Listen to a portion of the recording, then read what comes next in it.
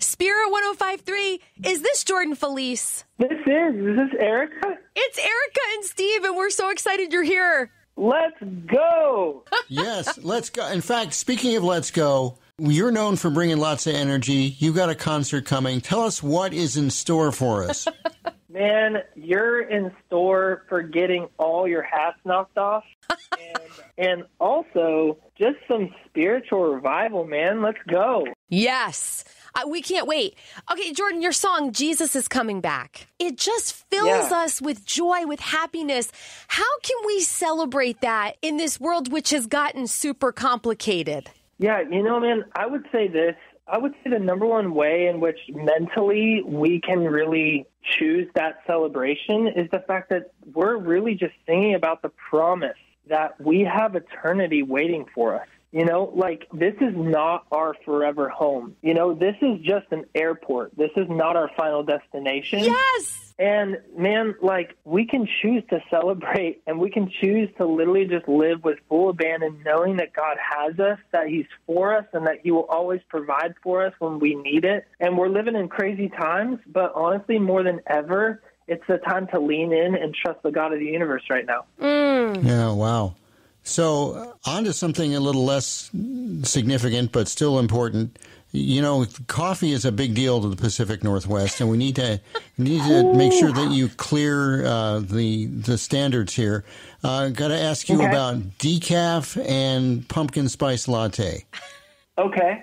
You recently shared that, like, decaf is just not a reality. Like, why is there even such a thing? Yeah, you know, I do wonder why, you know? and mainly because I drink coffee for survival. I don't know about you guys. There's only a couple things in my life that I know that I need. Yeah. Um, and it's a, a relationship with Jesus, a, a happy wife, Yes. happy children, and coffee. And Yeah. I think that's pretty much it in the morning. Or else your boy doesn't have a happy wife, you know, and he doesn't have happy kids. And who knows? I mean, he'll he would still have a relationship with Jesus. It might just be a little bit more traumatic. You know what I mean? Yeah. What about the PSL? Are you a fan of the pumpkin spice latte? Who can't? Who can hate on that? you Thank know what. I mean? Like who? Who can hate on the PSL? Like, I mean, it, it's definitely not coffee, but it's but it's something to drink that's really good. You know? He puts it so well, Steve. That was sort of diplomatic. Very good. Yeah, I'm running for president in like five years. So Oh, okay. Un- Unfortunately, that won't be an election year, but that's okay. yeah, that that was the point.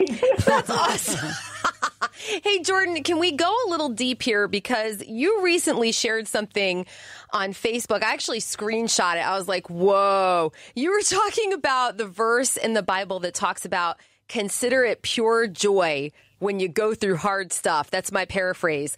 Would you talk about that? Because it really, wow, it was like, yes, he's right about this. Yeah, so a lot of the reason why I always almost like start to get excited whenever I start going through something that's a little like treacherous in life is because I know that it's just the enemy trying to hold me back from something. And like I feel like oftentimes it's a time of discouragement for a lot of people because we're just seeing all the things that we're up against. We're seeing this huge wall in front of us.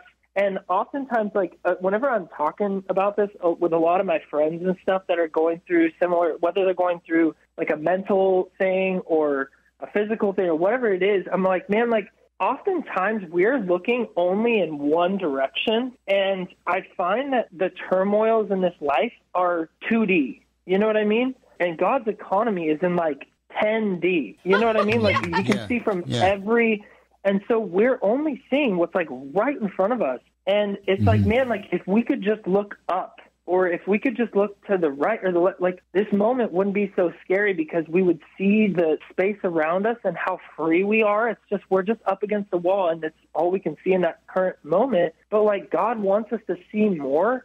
And I find that if we trust in Him in those moments, He opens our eyes to be able to see, like, man, like, this is just a wall. And if I step five or six steps to the to the right, the wall isn't there anymore.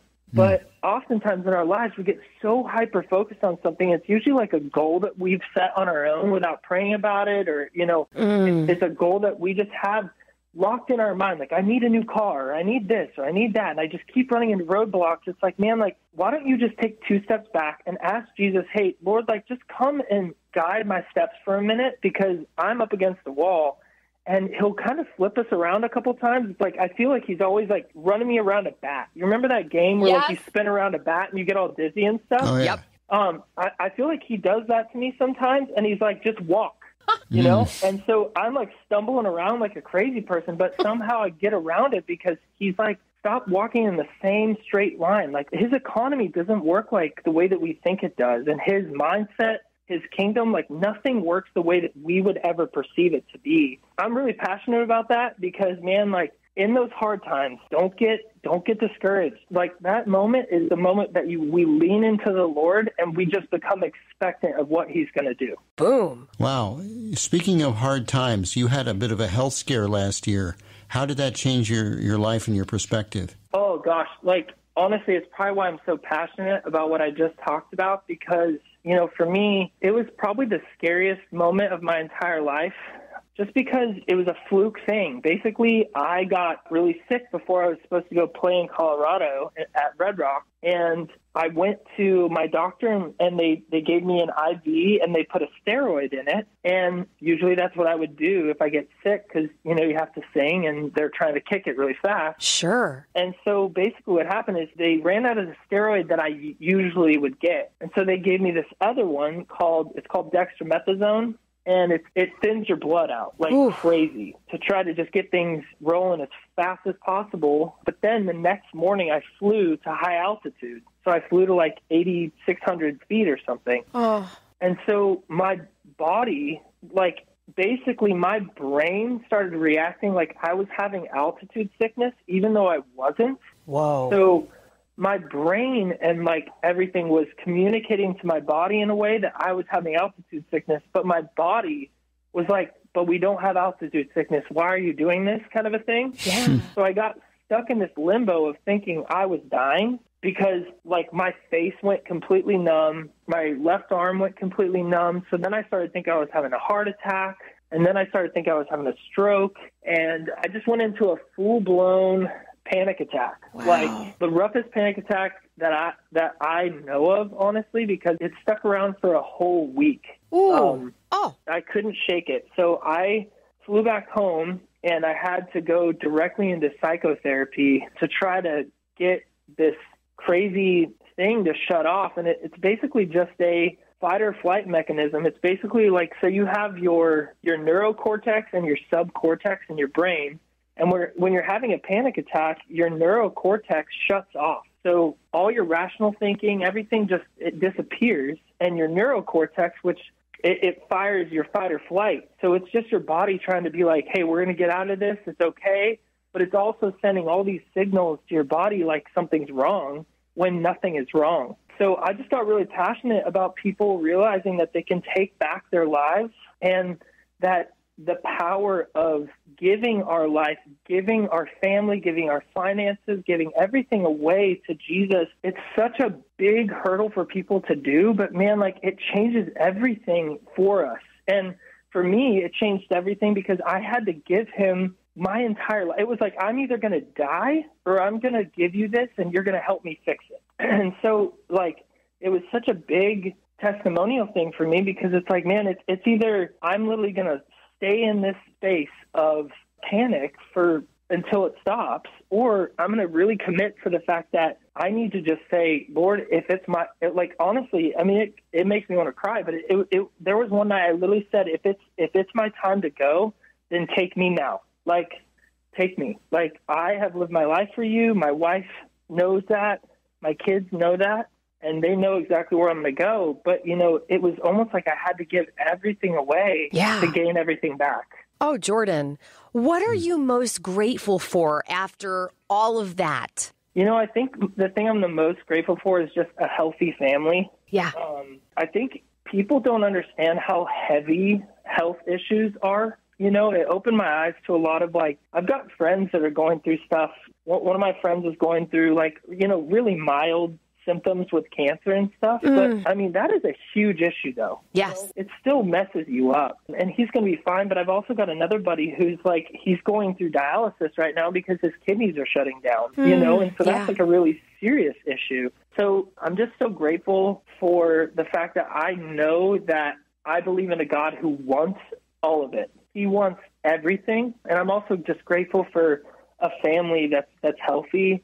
And even when the health isn't there, we know who to turn to in those times of duress. Yes. Wow. We are so glad you're still here, encouraging everybody. Hey, Jordan, uh, school is about ready to start. Could you uh, give the kids going back to school a bit of a pep talk? What would you say to them if you were on the bus with them right now? Dude, you know what's so funny is I literally just dropped my little girl off at school. It was Oh. her first day, and my little boy's first day was yesterday. So, um, you know, I, I would just tell them exactly what I told my little girl, my little boy. Like, first of all, you are exactly who you are, and it's it's exactly who God made you to be, and go grow that, and ah. also be kind to everybody, be good to everybody, be Jesus to everybody, and just know that you're loved. You know, know that you're loved today. There are moments where I feel like my kids can get serious anxiety on like just leaving us. you know? Yeah. And I just always want them to know that they're so loved and they're so cared about, even in the midst of feeling anxious and feeling like mommy and daddy aren't right there. But they are loved by everybody around them and they're safe, you know? And so if you're going off to school, man, you're loved, you're safe, and go be exactly who God called you to be. Oh, it's beautiful. You said loved, but some would say beloved. We were just playing that song this morning. If- Yes. That song is like everything you need to hear. Oh, thank you. Well, we are so grateful for you, Jordan, and thank you for your valuable time and for sharing your heart with us. We just love you and can't wait to have you here in Bothell. Man, love you guys so much, and I can't wait to be in Bothell too, to be at Eastside Church and just be able to just experience the joy of the Lord and build the kingdom together, man. Like it's going to be such an amazing night. Thank you, Jordan. Appreciate your time. Jesus is coming back. Come on. And Jordan's coming to Bothell. Thank you.